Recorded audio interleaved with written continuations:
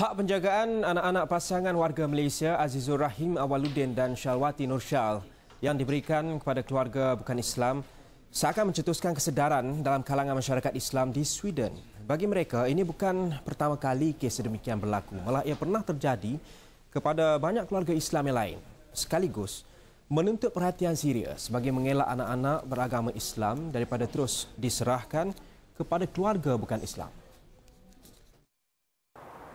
Selaras dengan keprihatinan itu, Persatuan Islam Sweden untuk Keamanan dan Keadilan telah menganjurkan satu seminar bagi menimbulkan kesedaran akan keperluan lebih ramai keluarga Muslim untuk menjadi keluarga angkat dalam sistem kebajikan sosial negara itu.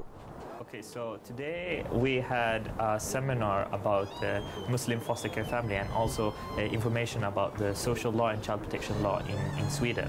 Uh, because a lot of Muslim families uh, get um, uh, get uh, into trouble with the social services. So what we try to do is uh, we try to inform them about their rights and also about the system in Sweden and also how they can contribute and provide uh, uh, their service by becoming foster care families and taking care of Muslim uh, children if they get into child protection service.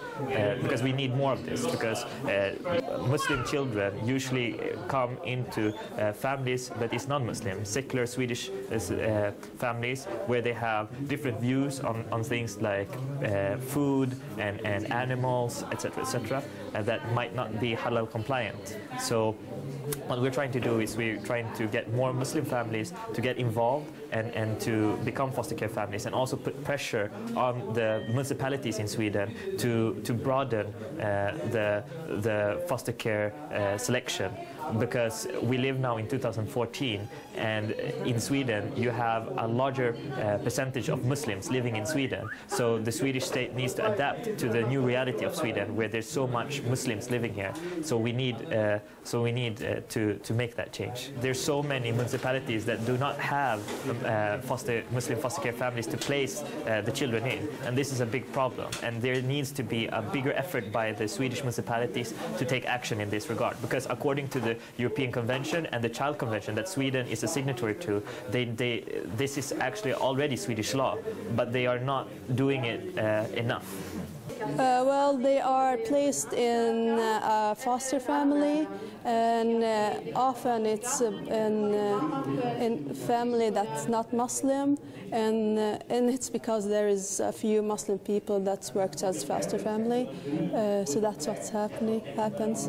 We have to we have to be very very clear with one thing even when the children has been taken into child protection uh, custody, it doesn't mean that the parents have done anything wrong. It's just suspicion that the parents might have done something wrong or are unfit as parent. And this, during this time, uh, if they feel because of the suspicion that it's dangerous for the children to be in the home, and I'm saying suspicion, not, not evidence, suspicion, they, they, then they have to take the children and put them in a safe care during the investigation to, to, to sort out if the children is actually in an abusive relationship with their parents or not.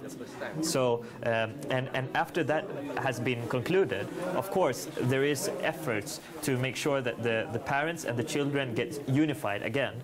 Kes pasangan Malaysia Azizul Rahim Awaluddin dan Shalwati Noshal merupakan contoh terbaik untuk uh, masyarakat Islam di Sweden mengambil langkah proaktif untuk kebaikan mereka sendiri.